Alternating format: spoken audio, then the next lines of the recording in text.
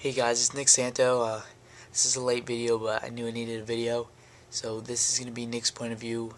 Um, I guess how I work my abs, because everybody says, like, you, you should be so strong from how you're getting on the chair and stuff. And I'm just going to show you how I work my abs. Um, I don't want to really turn this into like a fitness fitness point of views, but this is just uh, Nick's point of view, just to get another uh, episode out of the series. So this is what I do. I basically you can see the chair, and I this is what I do at the gym. Just pretend we're using gym equipment, and uh, I'm going to pretty much just put my arm here.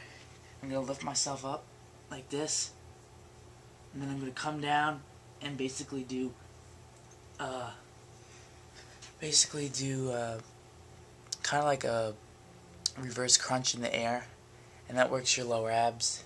So basically I'm to come up like this hold myself steady and then come down squeeze come back up come down squeeze come back up.